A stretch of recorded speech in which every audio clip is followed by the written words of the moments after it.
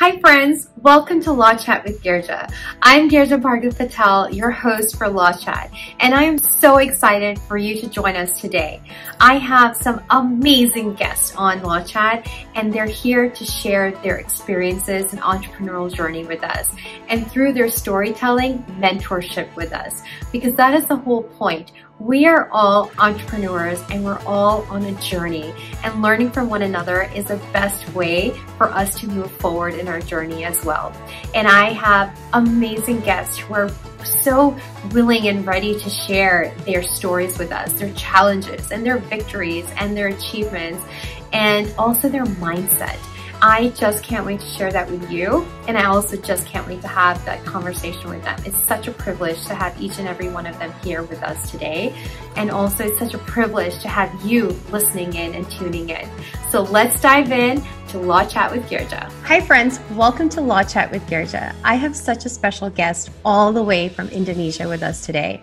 She has achieved so much in life. She is a lawyer. She's a senior corporate executive turned high performance and business coach for women and women entrepreneurs. She's an author. She's a motivational speaker.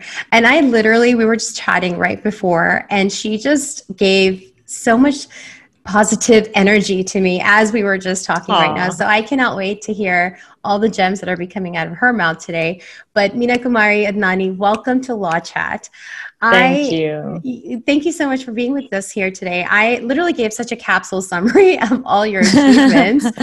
but even in that capsule summary, we're able to see all the pivots that you have made you know just talking to you i've also seen how strong you are as a human but then also how much love you have to give to others as well so i really mm. want to touch on all of that today and see how as sure. entrepreneurs we can really hone into our ethos of who we are but keep it consistent with our business as well. So, welcome. Yeah. I cannot wait to hear from you. Yeah, thank you. Thank you so much for having me here. I think it's amazing what you do and, uh, you know, showcasing different people, adding so much value to people who are listening to this and the lessons that they are going to learn.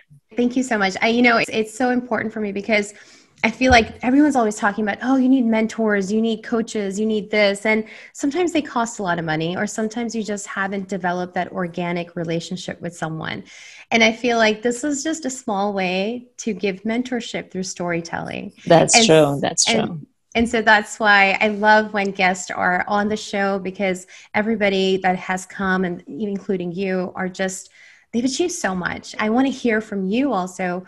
How did you start? You know, how did you become a lawyer? What made you want to be a lawyer? And then how did that journey go from there to where you are today? You know, it's so interesting when people ask me that. I'm like, how do I answer this in a short version because my story is so long. Aren't they all? Um, yeah. like. yeah. Well, I don't know. I mean, in my case, first of all, having been brought up in, a, in an Asian family, you know, I didn't come from a background where education was encouraged for women. For me, it was more like, oh, you're going to be married at the age of 20. Mm. And so as a 12 year old, I was like, no way in the world is that going to happen to me. Because I looked at the female role models around me, my mom and my aunts and everyone, and I was like, this is not what I want to be. Because I see that their lives were about serving their husbands. And they didn't really have an independent life of their own, and their happiness, their sadness, everything was intertwined with their husband. And it just didn't understand that. I thought if God creates human beings, we are all here for our own individual experiences.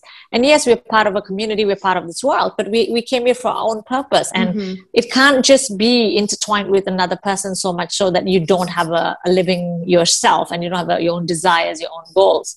And so that was what made me very determined that I'm not going to be that. And so I want to be someone else. And I remember watching a Bollywood movie when I was accompanying my mom and my aunts. I saw this girl in the movie. She was a lawyer and she was so confident. And I was like, I am going to be her. I didn't know. Which movie was know. this? I can't even remember. I was like, I saw her. I was like, I'm going to be her, you know? And I didn't even know anything about the legal profession. I didn't know. Yeah. I just thought she exudes so much confidence. And I, in fact, wrote for a book uh, called um, Ignite Your Life for Conscious Leaders. And I wrote this part of the story about how I just looked at her and said, wow, she looks like a Greek goddess in charge of her life. And I want to be that woman in charge of her life. And so my journey that. began there where I just went against every grain that, you know, I was taught about how a woman should be, what she should be doing, and how I should be. And every year of my life, I had to really negotiate with my dad to let me go back to law school, to let mm-hmm. me go mm-hmm. do my O levels, A levels, because I lived in Indonesia. I insisted on being sent to the UK. So I qualified as a solicitor in the UK. And then I qualified as an attorney in New York because I thought, hey, it's not enough. If I've been qualified as a solicitor, I'm a sucker for punishment. So let me just go into the New York bar. so did you take the New York bar also? Then you must have. Yes, right? yes. So I qualified in the UK and in New York. And throughout the time, it's interesting. The fear always was don't be too intelligent, don't be too educated, because mm. then you hmm. won't find a husband. And I'm like, is that supposed to be the benchmark, you know, for where I need to be in life? So um, clearly, I didn't. To me, that wasn't important. That's awesome. So you know, it's it's really interesting because your mindset journey started at a very young age. Yes. Um, yeah. Because your like how you're explaining your family environment and everything was not necessarily maybe encouraging to for you to like you know pursue your dreams so how did you overcome that how did it's really tough to overcome when your parents are the ones that are standing in your way. Yeah. So how did yeah. you overcome that and how did they embrace it? It's interesting because I think back and I realized that I didn't focus on any obstacles. All I focused mm. was on my goal. And so mm. I learned a lot by looking at my younger self. And I just look at what was it that got me to where I got to. And I'll tell you why it became important for me to look back at that in 2016, I found out that, well, I had trusted someone in my family with my finances. And one dreaded Sunday, I got a call to say, please come over. And I went over um, my family member's home to be told that he had lost 100% of my money. 100%. Right. Yeah. And I was actually very close to hitting my seven figures. And that was oh my, my goal. goodness. And so when I got to that stage, I literally hit rock bottom. I mean, I went through depression, as you could imagine. And every single day, all I could see was myself opening the drawer, taking the knife, and slashing my wrist. Every day, I saw that in my head. And that's all I wanted to do because until I lost that money, I didn't understand what money represented for me. It represented freedom. It represented my ransom for putting up with all the bullshit that I did in my life. It represented, you know, independence, security, everything. It was my identity. And I lost everything. And I thought, how in the world am I going to get over this? Right. And mm-hmm. so every single day, I had to really think about survival strategies Oh, wow. And this is what I taught myself. You know, every day when I would wake up in the morning, I'd open my eyes and I would say, I think that was a bad dream. I'd wake up and then you just feel a pang of sadness and you're like, it wasn't a dream. And then you're like, I don't, you want to get out of bed, right? And so every day I taught myself, just put your feet on the floor. Don't overthink. Okay. Now take the next step. Don't overthink. And every day, every day, I'd just sit in front of the mirror. I'd look at the mirror and I'd be like, all you got to do is show up today and you'll be okay. Just mm-hmm. show up. Mm-hmm. And on days I didn't want to go to the gym, I'd force myself to go to the gym. And there were times I would just be carrying the weights and I'd just fall on the floor crying, but I would just still push through. Mm-hmm. And every day it was that. And you know that's why i'm so passionate about mindset because you know when we say i am this kind of a person or i'm that kind of a person all you are is a series of repeated behavior or habits. And so i had mm. repeated how to survive. So as depressed as i was i had repeated survival. So of course i'm one notch higher. And then i asked myself what am i grateful for? Because that's the only thing that helped me get through and every day I started talking about the things I was grateful for. I started thinking about the things I was grateful for. And you know what? At that point, I didn't know anything about gratitude. I didn't know anything mm. about universal laws. I didn't know anything. It was just, I really, I really believe the universe is universal. Mm. Right. So you get, you get your own like intuition, you get your own download. And so I just was grateful. And then when I got to a point where I was slightly okay, I asked myself, what do I have that no one can take away from me? And the voice in me said, What got you here will get you to your next level. You need to trust that. And I asked myself, What was it? It was my resilience. I knew that if I was resilient enough, I could rebuild myself. Mm-hmm. And so, in that two years, I really learned a lot in terms of spiritual growth. I developed myself. I focused on my vision. I realized wow. that I'm not going to be that person who's going to sit here and talk about how that one experience destroyed me. I'm going to talk about how this one experience built me. Mm. And so in 2016, I lost my finances. And in about less than a year, in 2017, I created a vision that I wanted to buy a villa in Bali. That was my vision. Mm-hmm. And I didn't have the finances at that time, but mm. it didn't stop me. It didn't stop me. I just took a picture of like um it wasn't even a picture of a villa. I took a picture of like a beach and like trees and sunset and that represented bali for me and i put it in my note on my phone you know put it on my yeah. note. And i'm like i'm gonna own this villa. One day i'm gonna own a villa in bali and by 2018, I had rebuilt myself and I bought myself the villa in Bali. Oh, incredible. I got chills you know? just listening to you. Thank you. And so, you know, that's why it's so important. This is mm, so important. Mindset is so yeah. everything. Yeah, so and important. the power of gratitude is, I think, sometimes so underestimated so underestimated. But that was more recently than not. But were you at that time in 2016, were you still practicing law or had you made shifts in your business and profession? Yeah, so I started out as a lawyer and then I worked as a lawyer and then I went in house. I worked at Viacom as an in house uh, lawyer.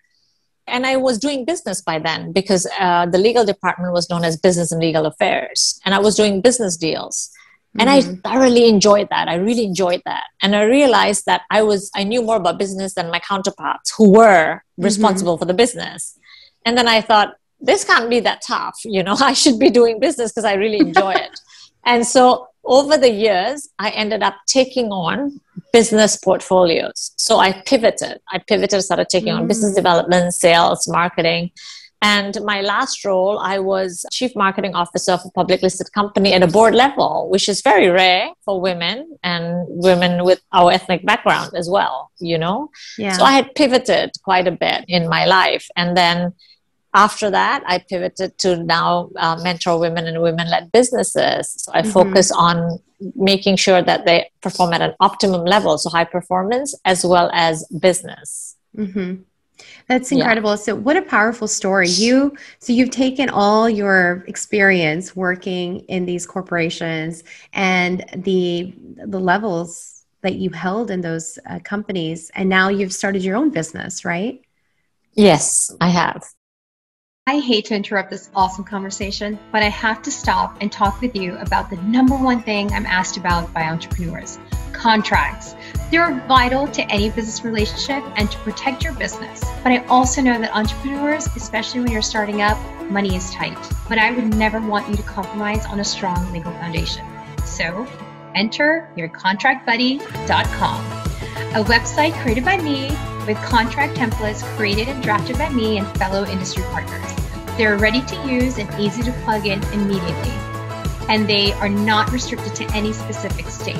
So yourcontractbuddy.com is sponsoring this episode, and you and your listener can get 10% off right now with code LawChat. Yes, you heard me right. 10% off right now with code LawChat. And now, back to our awesome conversation. And so, when did you start that business? Now, was that uh, quite a few years ago? Quite a few years ago. Was that before 2016 or after? Uh, it was after after 2016. Mm-hmm. So interestingly, you know, as I started to change as a person, I started like to have a different mindset. I just started attracting more opportunities than mm-hmm. I had than I had ever imagined. Mm-hmm. Um, I had women who owned businesses who asked me to mentor their business, and I at first I wasn't really aware that they were all women. I knew they were business owners, and then I had this moment of epiphany, like, oh my God, they were they're all women, you know. and then I realized that wow, maybe there, there's this beautiful story in the Bible. Um, I don't know the details of the story, and I'm just using that as a reference because I really like this one sentence. Um, I think Esther, Esther, I think can't even remember her name, right? Esther. Anyway, but anyway, she is a Bible yeah, she, character, yeah. Yeah, yeah. Anyway, she was married to one of the kings, and um, his the king's people were actually killing uh, people from her tribe. And so her uncle, Mordecai, told her that you need to go to the king and tell the king this is what's happening. Because if you don't, we, everybody from our tribe is going to be gone. And she said, I can't do that. I cannot do that because as one of the wives, I'm not allowed to actually approach him until he calls me. And so Mordecai said to her, Do you not realize why you are actually in the palace? Maybe you were put there for such a time as this.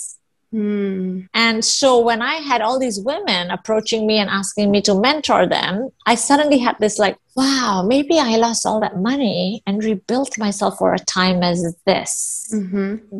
Because I know that it's not easy when I mean, I didn't have all the support I needed growing up. I was resilient. I got to where I got to, but I can't say the same for other women, right? Mm-hmm. Everyone needs support in their journey. And people, especially women, you need to tell them how much you believe in them, how much you believe in their ideas, how much you believe in what they're about to create. Because when you actually put that faith in a person or you actually teach people to have faith in themselves, magic happens.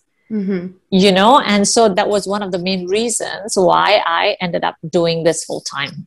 Mm so powerful. I i mean i'm just listening to you and i just want to keep listening to everything that's coming out of you because i personally believe also that whatever experiences we have positive negative traumatic semi-traumatic they're all meant for a reason. They're coming into our lives to build absolutely. us for the next season. Absolutely. Yeah. and sometimes it's tough. It's tough to even acknowledge that. It's tough to even say okay and be reconciled with that because sometimes the trauma yeah. is so huge. The pain is so huge. Yeah that you're just kind of like, how can this happen? But if you yeah. have a, you know, your faith, your anchor, which I'm going to ask you in just a second, what is your anchor? My anchor is God. I always turn to God in gratitude.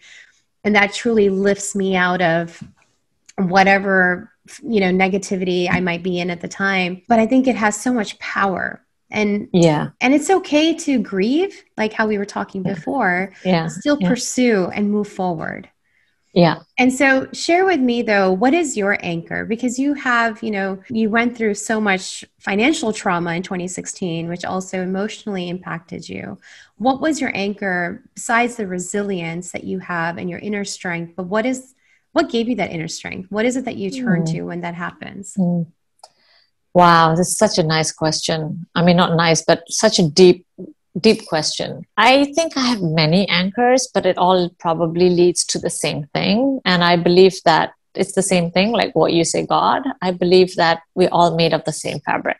We're all made of the same uh, elements as the universe is. And so not only are we able to tap into the power of the universe on the outside, but the universe already exists on the inside. Mm. And so I think the mistake a lot of people make is they want to try and get power on the outside, but they don't realize they already have the power on the inside. Mm. And so learning how to tap into that. But what really drives me, really drives me is first and foremost knowing that there is a purpose behind everything. You know even we are created with a purpose for a purpose and on purpose. We're not just some random accident you know? No. and so we're created with a purpose. And so if we are created with a purpose i'm very clear of the fact that i'm a spiritual being having a physical experience. Mm-hmm. and so instead of being too focused on my physical experiences i ask myself what is a lesson that my spirit needed to learn you know in this through this journey what lesson am i supposed to learn? And then learn that lesson because when I, I, think what causes us pain is not something that happened but the resistance to what happened.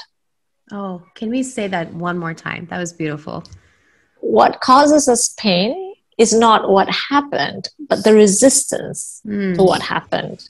You know this unwillingness to accept you know like we were talking about my dad's um, passing right I had to really sit with that. I had to really sit with that and ask myself, what is it that makes me feel so hollow? What is it that makes me feel sad? Not because he passed. And it's not because he passed because I know we're spiritual beings. In my head, I know it. And I know it's a temporary physical experience. So why am I feeling the grief? It's because our body, our mind is not willing to accept that he's gone, that mm-hmm. I won't see him. You know, it's this, mm-hmm. it's so interesting. Life, we all know no one gets out of here alive, and yet we can't accept it. Right. You know? And so, and it's so, my anchor basically is just knowing that there is a reason behind everything. There is a power behind everything. And just trust trust trust trust the process. Make the most out of what you can and continue to build continue to evolve and continue to impact. Because mm-hmm. if we are supposed to be here only for our own selfish reasons then we wouldn't be in a world you know where we are with people from different religion different tribe different race different religion different gender we're not here to judge each other because we're, we're all part of one consciousness anyway. We're supposed to be supporting and co elevating, which I think is what is the problem with the world. It's like me against you, you know? Mm-hmm. We're all on the same side. What are we fighting? I don't understand half of the time. yeah, yeah I know.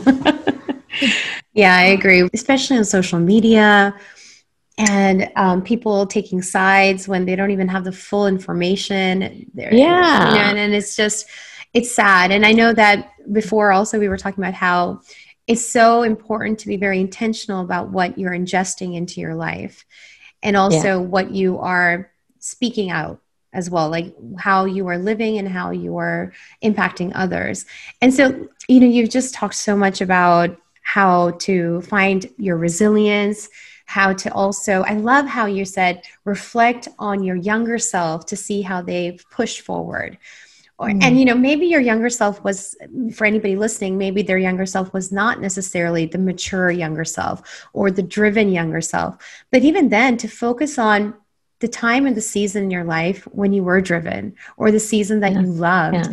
and to see what was part of that that made you keep going yeah. and i love these tricks I, I, call them tricks, but they're not really tricks. These are. I, I call them. I call, I call them hacking habits. I, yeah, I, re- I, love like, it. But yeah. you know, I like what you said about okay, you know, when your younger self is not resilient. Actually, that's not even true, and I'll tell you why. Mm-hmm. So you know, when people say things like, "Oh, I'm not very confident," and I say, "Really?" and they say, "Yeah, I'm not confident," and then I ask them, "Were you born knowing how to walk?" Of course not, right? You're born, and then after a while, you learn to crawl, then you learn to walk, then you learn to run, right? You're were you mm-hmm. born knowing how to walk? No, okay, so when you tried walking the first time, did you fall? Yes. Did you cry and say, walking is not for me, I'm not confident? You didn't. Mm-hmm. You're like, okay, this sucks. You cry, cry, cry. You get up again, and then and then you, you do it again and again and again and again until you know how to walk, right? Yeah. And so as kids, we don't take like failure personally you know? Mm-hmm. but then mm-hmm. we grow up in an environment in a world where it's really there's such a bad thing attached to failure and that's when we start taking that on. But otherwise we're all mm. very resilient human beings. So true. Taking failure personally is what stops yeah. us from moving forward sometimes. Yeah. That's so true. I completely agree with you. And i also think there's a lot of bliss in ignorance sometimes as well. Yeah. True so let's talk a little bit about the universe as you were talking.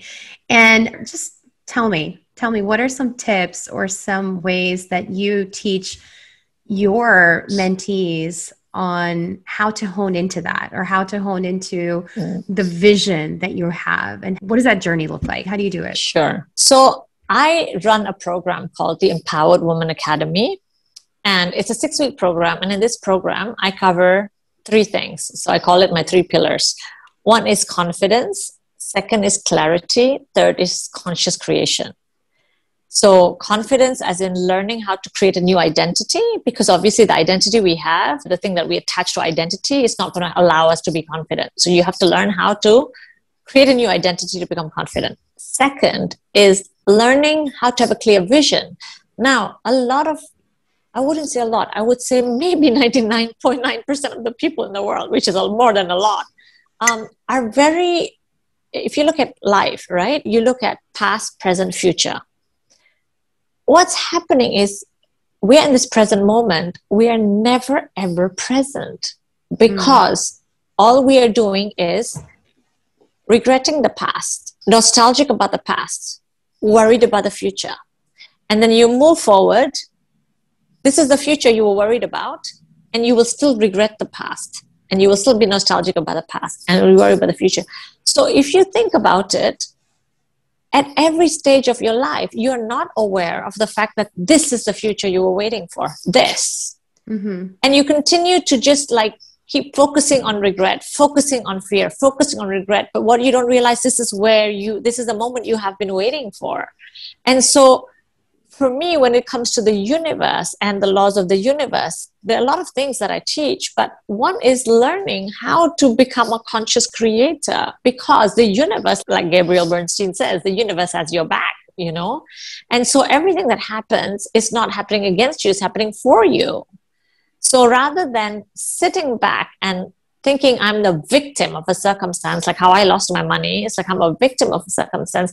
How do you use that and pivot and become a conscious creator?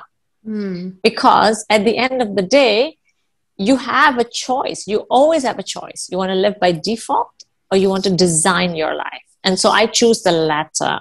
Mm-hmm. You know, so much so that sometimes I get into trouble. And when I say trouble, I mean like you know, when I, in my career, whenever I applied for jobs, I would have heads of HR looking at my CV and getting confused because I have a legal background.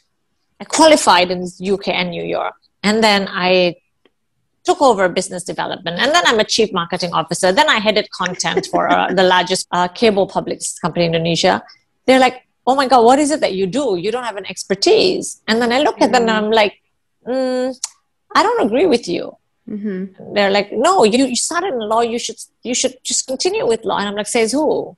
Mm. It's a mm. very narrow mindset. The world has such a narrow mindset that you're here, you should stay here. And I'm like, why do we spend our whole lives fitting in when we're actually created to stand out? Mm-hmm you know so for mm. me it's more like no you put me in any division i'll be i'll thrive i'll show you i'll thrive because right. there's very little i can't do only because i'm resilient and i can learn that's it you know and so yeah that cultivating that mindset knowing that the universe is not working against you it's working for you and at every juncture when you go through hardship rather than asking yourself why did this happen to me what i ask myself is what am i to learn from this mm-hmm. because when i learned that lesson my spirit gets to the next level you right. know of evolution evolution evolution. So yeah. Oh that is so true. I think oh gosh I, I love that because it's so true. Every time you overcome and you move forward you are also gaining spirituality. You're gaining yes.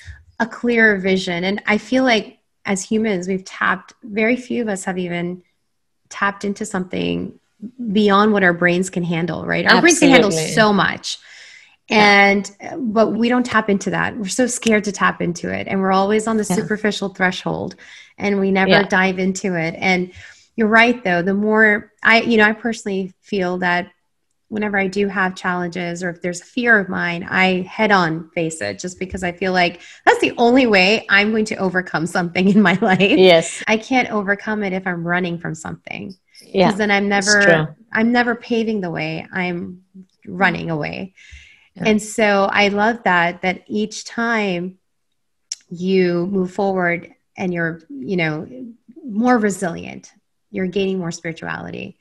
Yeah. That is so brilliant. I just, there's just so much. And I love talking to you. I'm loving this. Likewise, likewise. I'm just loving, I didn't, I didn't expect this conversation to go in this manner. And I'm just so happy that you are on this episode and talking to us about it because I think a lot of times, especially right now, with Corona and COVID and life. You know, last week, I'm recording this on February 23rd, 2021. Last week in Houston, we had, or in Texas, literally had this huge blackout for a week, one whole week. Most, like millions of Texans crazy.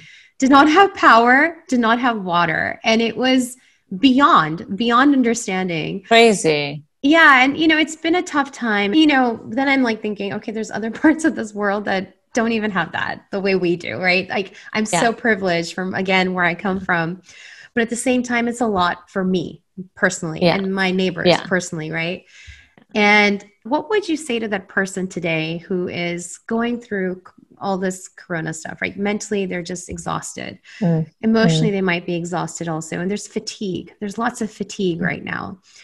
And they might have faced losses. I know you faced a huge loss because of COVID, and I'm just so sorry about that.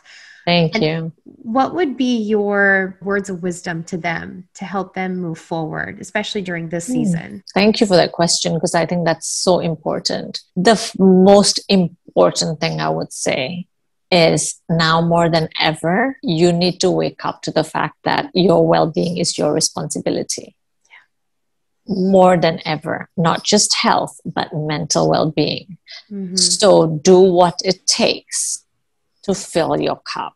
Mm-hmm. And don't leave it to your husband to make you feel better, for your kids to appreciate you, for somebody else to make your day. No, you empower yourself to make you feel good.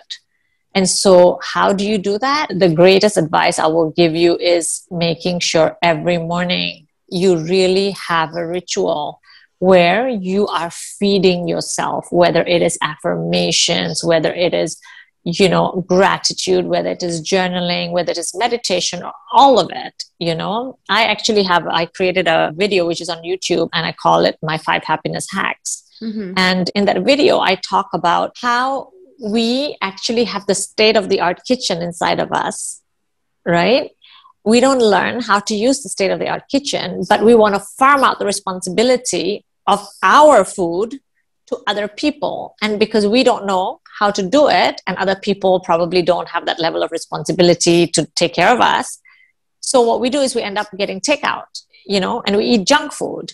And so this is what we do with our mental well-being. We don't do what it takes to be grounded to be centered to make sure that we're okay we are constantly relying on external factors to give us that hit of dopamine and so that we can feel mm. better right so mm-hmm. like whether it is mm. like eating chocolate or whether it is mm-hmm. social media or whether it is like you know someone complimenting you or retail therapy whatever but the truth is you can actually do it yourself and it's mm-hmm. much more sustainable much more powerful Mm-hmm. And so I really am a big fan and big believer of really making sure every day in the morning you practice mm-hmm. that because if you wait till the night, you would have spent the whole day spinning off the wheels, you know? Mm-hmm. So do it in the morning so that during the day you are already replenished and you don't get easily triggered and you're already mm. happy.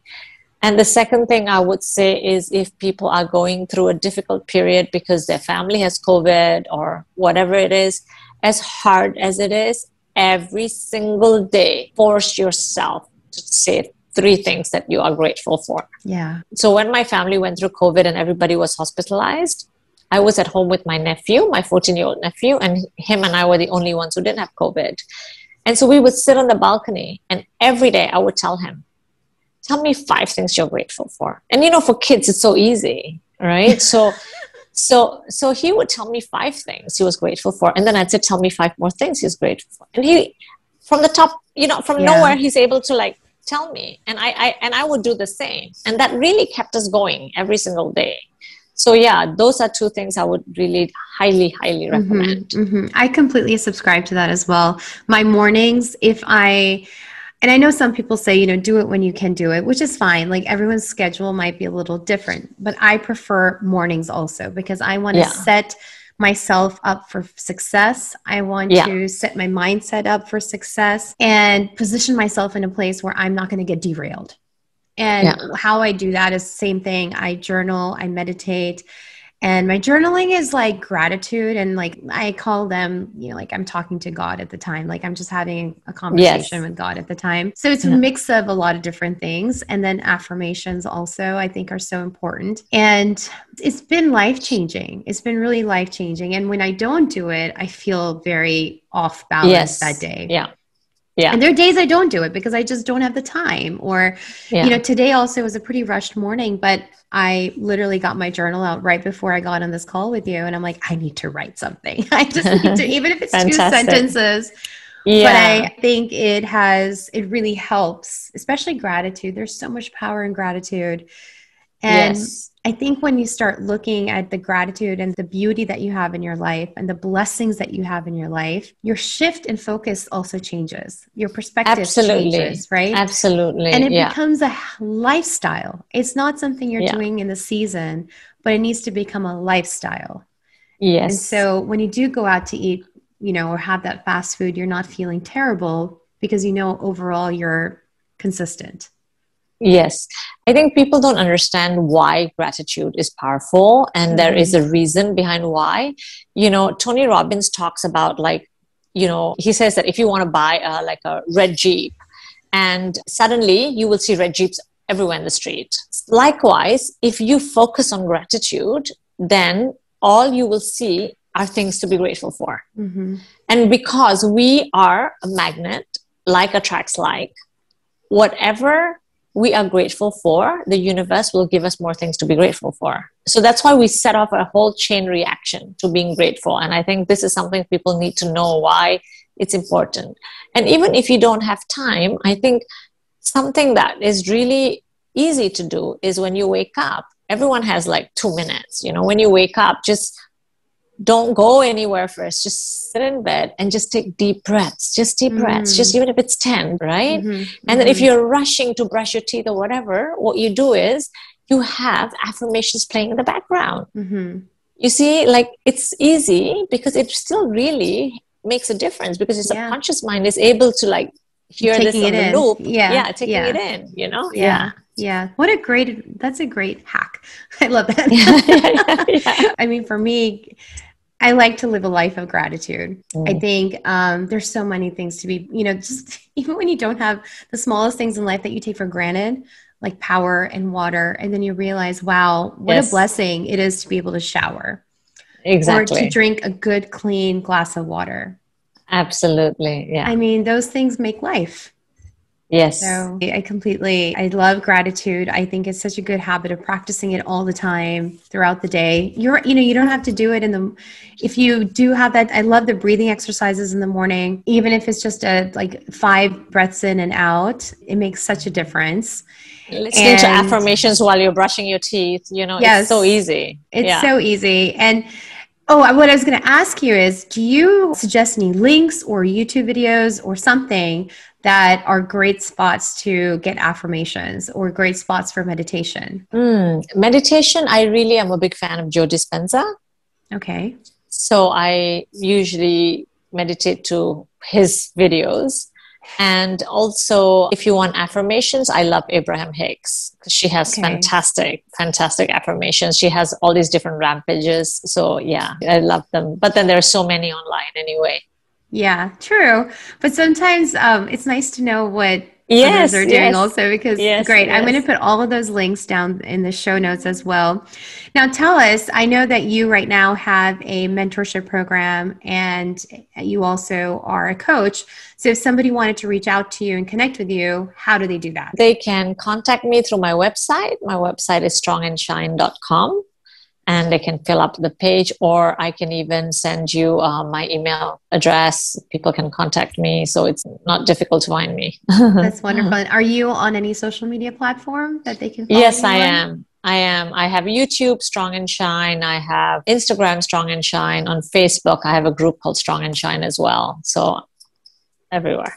Oh, love that. And I love how globalized we are that, you know, doesn't matter where you are, you can still get into touch Connect. with like how we are connecting. we're right? connecting. It doesn't matter. Yeah. And I just love that because every part of this world has amazing humans. And I love that we're able to connect with them now more so than ever before and shine a light of you know entrepreneurship and then get tips and all that good stuff so thank you so much now before we leave and before we say bye i do want to know what is your favorite book whether it's professional or whether it's fun Oh, wow. Wow. Um, you have a whole so- list yeah, so many, so many. So, you know, one of my goals for 2021 is to read one book a month. Mm-hmm. And so, talking about hacking, I love hacking stuff. So, one of the things I do is every morning I go for a very long walk. I go for at least an hour or an hour and a half or two hours walk um, in nature because I just love nature. And I thought, how do I fit in like one book a month? And realized, ah, I can just do Audible, right? I can listen to ebooks, or even YouTube has so many mm-hmm. ebooks. So now I'm able to do eight books a month instead of one book a month wow. because when I walk, I can listen to them. Wow. And again, when you know we say, "Oh, I'm the type I prefer reading versus listening," not true. We just haven't practiced it. Mm-hmm. So I used to be the type who liked reading as well, but now I'm good with listening because I trained myself to do it. So it's just mm-hmm. about training.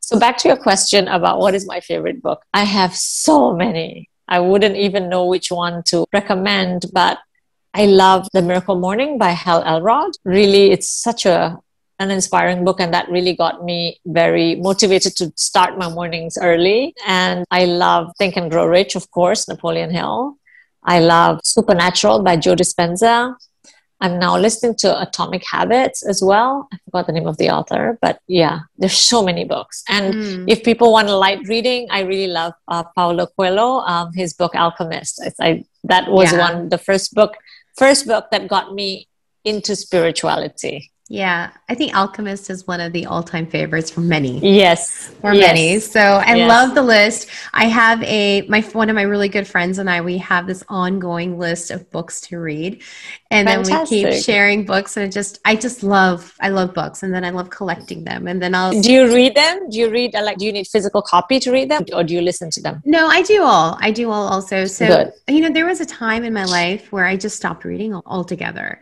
I just had my kids and I just forgot what reading was. And it was actually terrible that that even happened.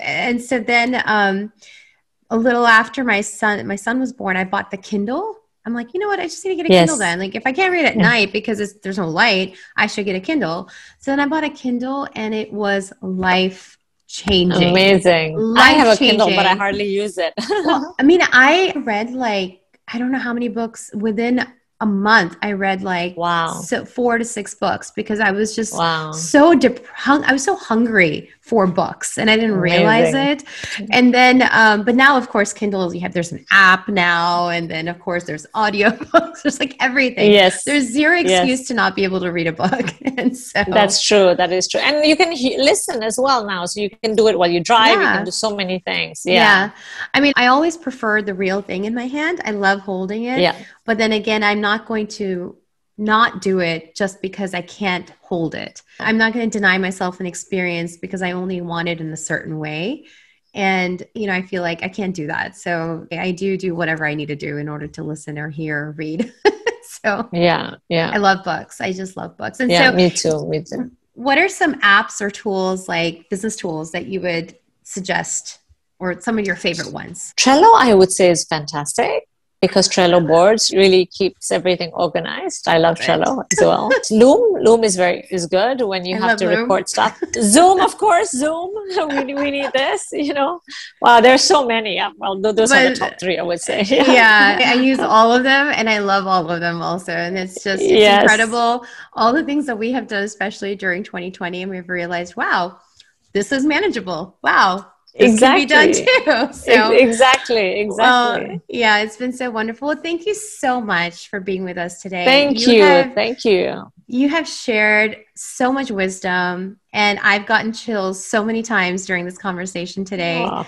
That I'm so grateful for you to be here today with us. So thank you so much. Likewise, it's been such a great conversation. And I really, my motive always is I hope people listening to this will, one way or the other, be positively impacted and remember that there is always, always, always, always hope, no matter what. Yeah. No matter what you're going through, there is always hope. Yes. So never give up. Never give up. Incredible. So powerful. Thank you so much. Likewise. Thank you. It was such a pleasure. Thank you. Thank you so much for joining Law Chat with Girija. I love these kind of stories and conversations where we can be real, honest, and open, and having fun at the same time. I hope you are inspired and motivated to keep doing the amazing work you are doing. If this is something that gave you all those feels and then some, truly motivated and inspired for you, you can show your love in all or one of these ways. Be sure to give this video a thumbs up, subscribe, and share this video with your community and tell them about it or share with somebody that can benefit from it.